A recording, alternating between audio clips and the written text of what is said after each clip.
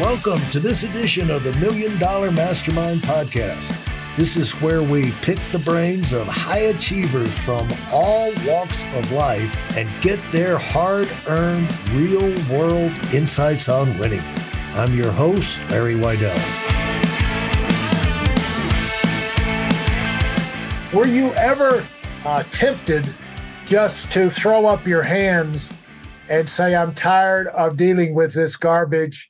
And people double crossing you, taking your idea and doing it themselves, where you had built the product for them and branded it under their name. Have you ever thought about just selling out and getting out of the game and doing something else?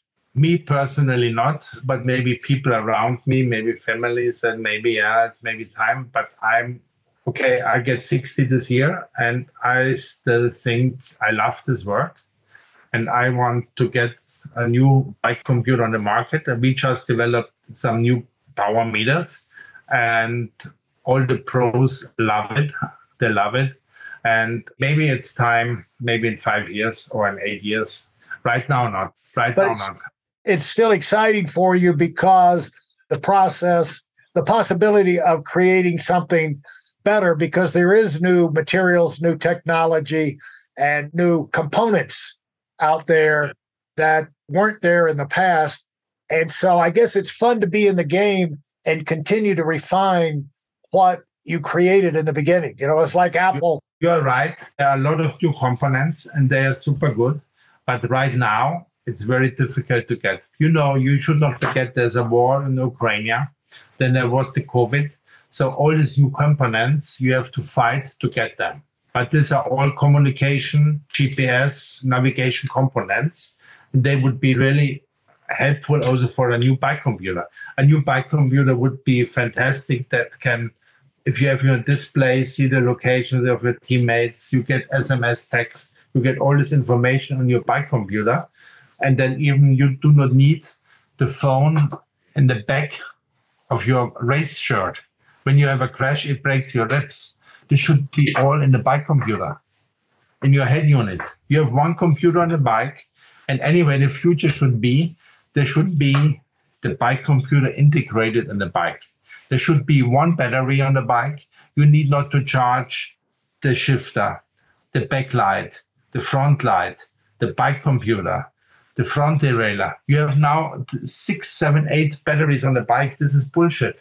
There should be a much better integration on your car you have a full tank and you put in the gasoline and you have not to think about to charge all the batteries.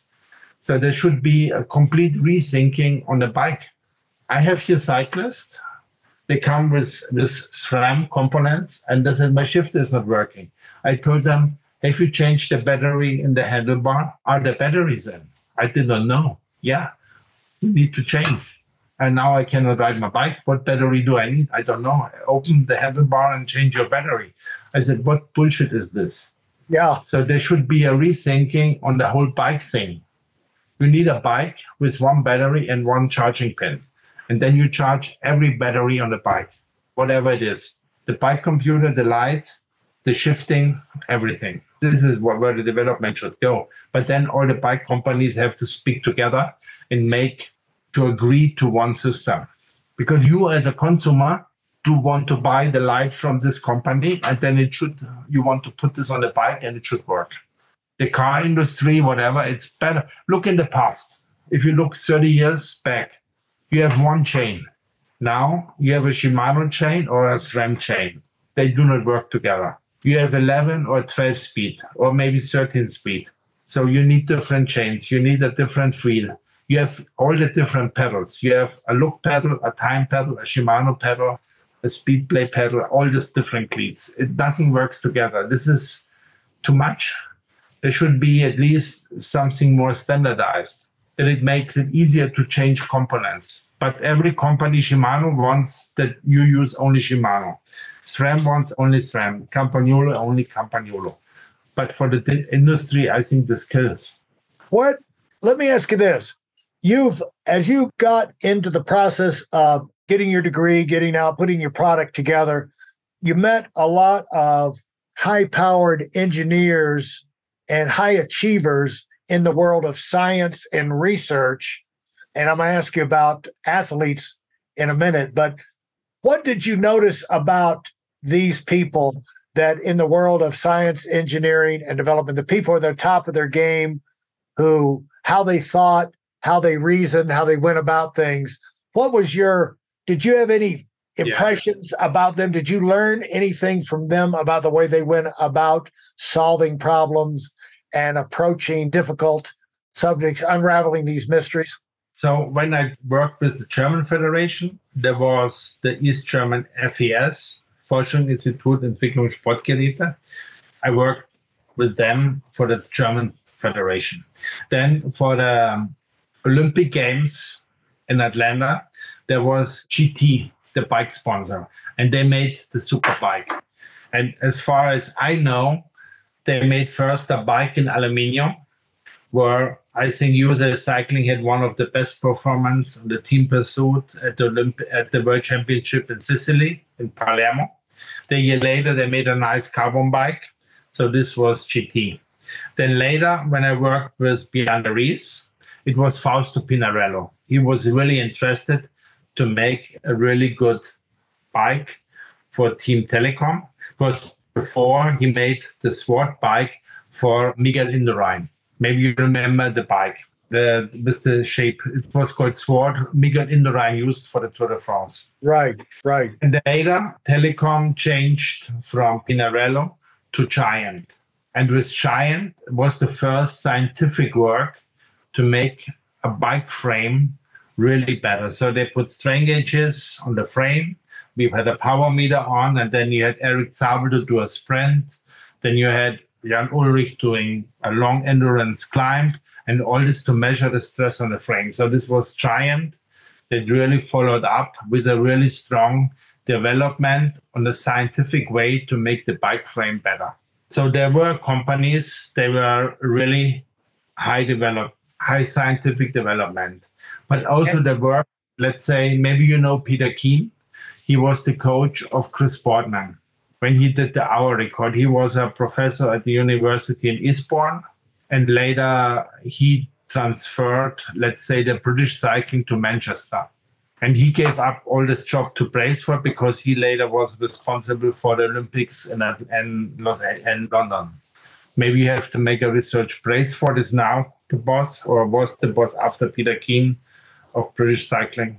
But Peter Keen was the initiator of the British Lottery to start the cycling let's say in Manchester and, and the strengths of British cycling, like with Cavendish, with with all the Tour de France winners of British cycling. This was well. Let's talk about how did this impact you? Because behind all of these products and improvements and companies making that are people, and I'm sure you met a lot of them and dealt with them and talked with them. Going through the Olympic experience, how did that impact you? Us first, they preferred all my products, so they said, "Okay, we power meters, we buy your power meter. Later, let's say example was the team um, Ineos, or it was called before Team Sky. They were all on SRM, but at the end, they needed money. Yeah. And they said, okay, stages pays more. We go to stages, and I don't pay. I give them product, and I cannot pay. And they said, okay, stages pays and you pay not, so we go to stages. Okay, we use a stages power meter. The same was with other teams. So they needed money. At the end, the team need money and they search money. And they, at one point, they did not look for the quality anymore of the power meter as it was before because they want money because the cyclist costs much more now than 20 years ago if you look what they get now and what they got 20 years ago, there's a huge difference. A huge right. difference. But cyclists cannot really attract, I would say, the big business. Why is Apple or let's say uh, Microsoft or let's say Google do not put any money in cycling? These are multi-billion companies. Why they don't say, okay, let's do a cycling team? It costs not much. It's maybe 50 million a year and we make them for 10 years.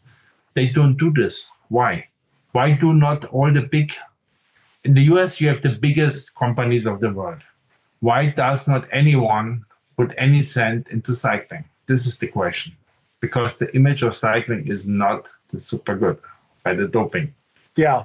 That was the black guy and haven't quite even got that in the rearview mirror totally yet. I think there was once the stain is there, you know, it's hard to uh, ride away from it. But the what was it like? You still have to pay the price. If you're an athlete getting on a bike, you still have to make all the effort.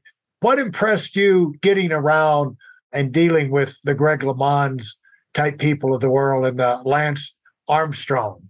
I was wondering personally, what did you observe about how they went about their business? What did you learn personally from them? Did it make an impact on you? Armstrong has a complete different personality that Greg LeMond.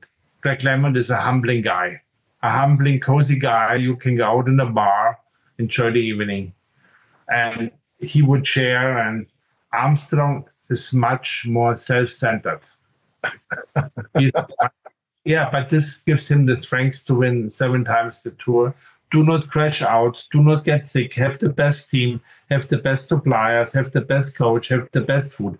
So this is the, the difference. But as a person, you want to spend an evening, have a nice evening. Probably you would say maybe it's more nice with Greg LeMond. Maybe he would also at the end of the day pay the bill. Yeah. now it's this is my experience. But Armstrong needed probably this to win seven times tour. Even they take away all the wins, but he did everything to achieve what his goal was. Thanks for listening to the Million Dollar Mastermind. If you felt there were any valuable takeaways from this episode, please take a minute and leave us a five star review. Your feedback is important and really helps us get the word out to a wider audience. Remember, we have a valuable webinar that is absolutely free. Register for it right now at weidelonwinning.com. Thanks for listening.